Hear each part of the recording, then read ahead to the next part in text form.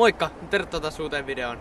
Tänään mä pelaan mun vuoden ensimmäisen kierroksen. Ja ensimmäisen kierroksen noin kolme, kahteen puoleen kuukauteen, jotain semmoista. Eli mulla on ollut tässä pikku heittotauko ja öö, on tässä muutama viikko sitten päässyt tonne hallivuoroa tota, heittelemään muutaman kerran viikossa.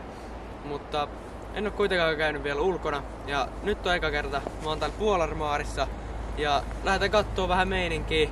Talvikierros, mut kuitenkin nyt on plussalla pitkän tota, pakkasekson jälkeen ja ollaan plussalla ja vähän märkää, mutta eiköhän tästä ihan hyvä kierros tullut. Aika helppo rata, joten ehkä tulee jotain holareita.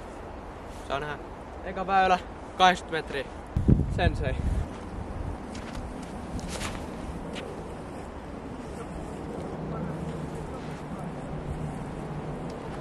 On putil. Lähdetään heti ekalta, ekalta väylät leikkimään näiden kameraselässä kanssa. Kyllä. Uutta kiekkoa. Tää on mutantti.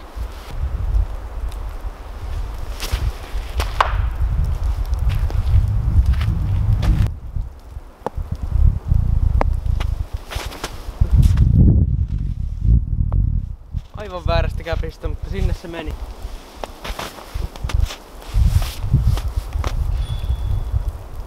No se piti heittää.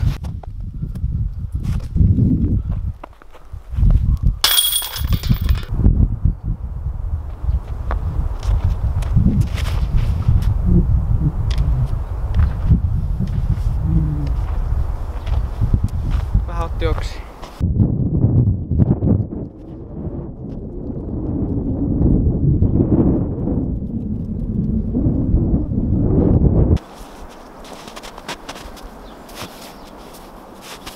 Pistään testiin tämmönen Vanguard. En oo ikinä ennen heittänyt, mutta veikkaan että aika suora kautta ylivakaa ainakin tässä myötätuulessa. Lähdetään kattoo. Polarin biisin väylä, joku 120 metriä.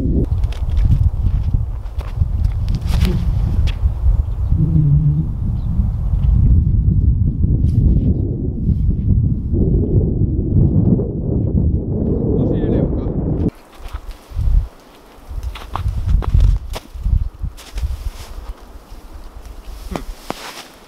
Kylläpä tippuu.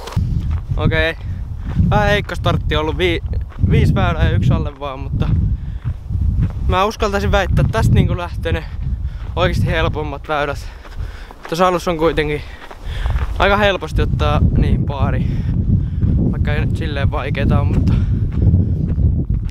lähdetään nyt hunttaamaan birdejä. Pakko antaa kyllä propsit, että tota, jokaisella väylällä pressut ja tota, hyvässä kunnossa muutenkin tää puolari tämmöisenä keskellä lumista talvea. Mukava pelailla.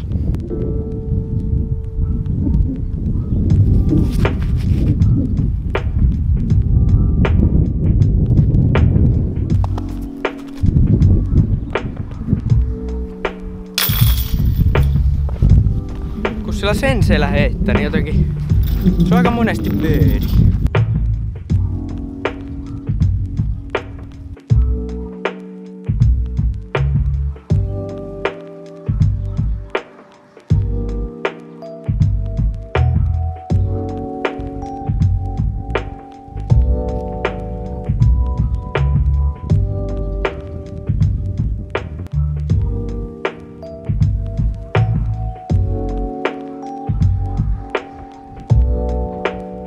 Okei, tilannekatsaus 10 väylän jälkeen.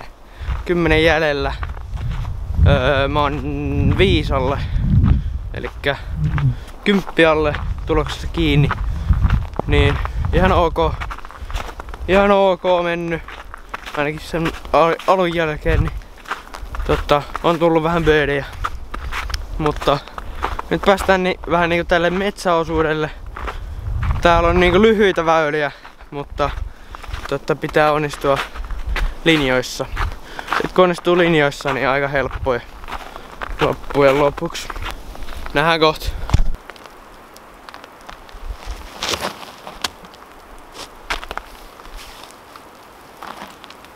Nice. Toinen vielä. Nyt koriin tällä kertaa.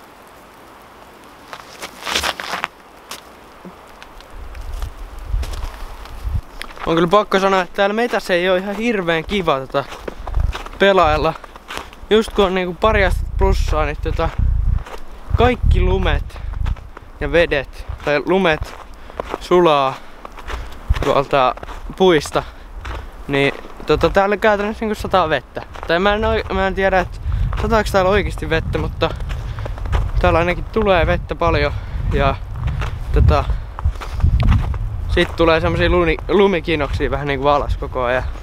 Vähän pelottaa kamerankin puolesta, että kohta tässä on joku lumikläntti, mutta tota, heitot menee ihan hyvin.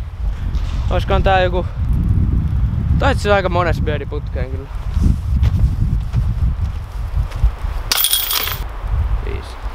Kuudes putkeen. Tää on väylään. Mä heitin mun ensimmäisen holarin ikinä. Instinktilla.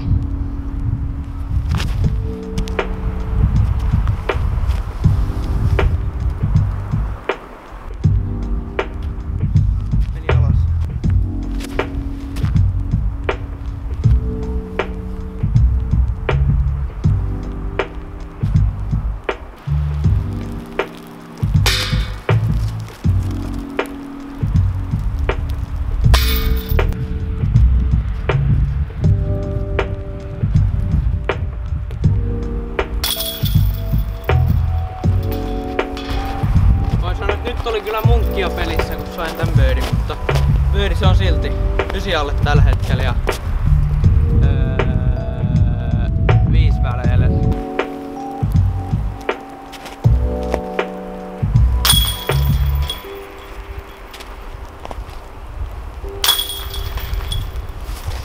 Kyppi alle. Tähän mä taas heitin viime vuoden eka holarin taktikilla. Koitaan toistaa perässä.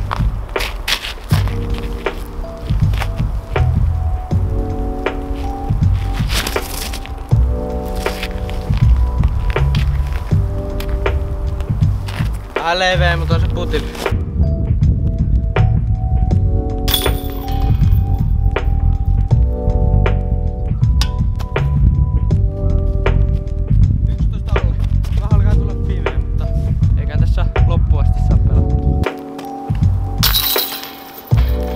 Pelikirja avaus ja helppo putti.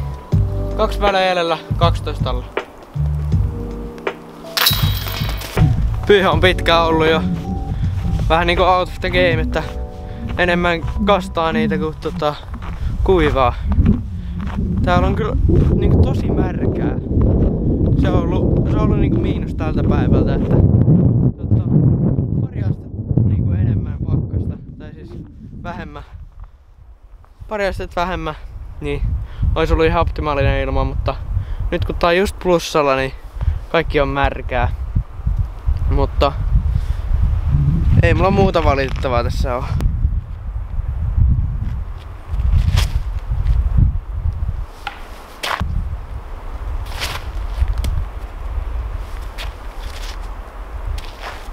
Se oli siis parempi jo.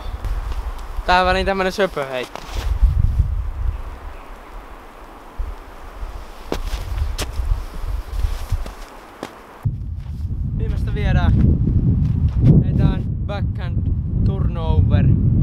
Se on tota, mulle varmin tapa olla hävittämät kiekkoa.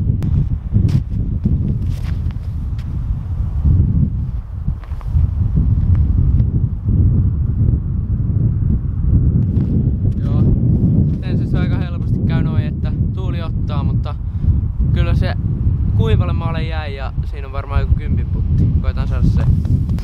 Nyt kun miettii, niin ehkä kuiva sana on väärä jäi lumelle.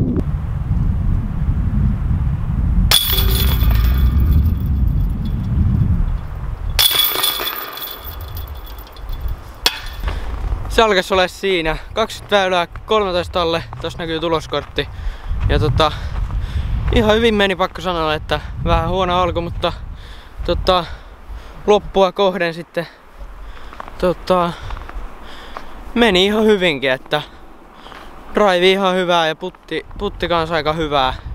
Ainakin olosuhteisiin tota verraten, että kuitenkin piti koko ajan melkein märällä putterilla putata ja tälleen. Ja just just valo riitti. Ehti nähdä. Mä tulin tosiaan suoraan koulusta, niin tota, vähän tuli kiire, mutta ei haittaa. Oli hauska olla teidän kanssa kierroksella ja tota, toivottavasti tykkäsitte videosta. Nähdään seuraavassa videossa. Se olisi moro.